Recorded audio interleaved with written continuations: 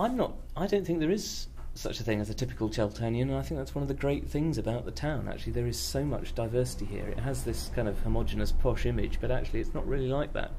You get a completely different atmosphere on at Whaddon Road on a Saturday afternoon, cheering for the Robins, um, and to the situation you'd get at you know one of the more refined events in the Pillar Room on a at the Literature Festival. They're, they're very different groups of people, but it's all part of being uh, a Cheltonian.